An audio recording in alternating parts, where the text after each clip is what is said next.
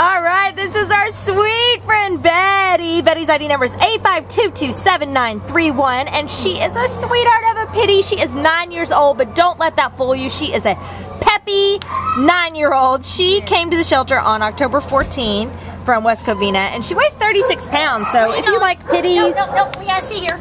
Hey, hey, then um, you can see that she's a little bit on the smaller size Yes. and, you know, a little bit more calm than a lot of pitties. So that's um, two great attributes she has going for her. But she still definitely likes to jog. She was jogging around her earlier. as Oh, you yeah. see, she wants to check things out right now.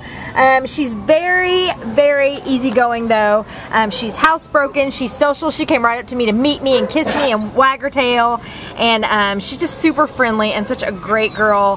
She is great with other dogs. Um, she's been great with kids, as far as my notes say. So we just think she's to be an all-around great pet for pretty much any situation. So if you are interested in our friend Betty, and we hope you are, because she would love to have a good home, come on down to the Baldwin Park shelter, and you can meet Betty and take her home with you, right, Betty? Yes, you're so sweet. Look at that sweet face. Bye, Betty.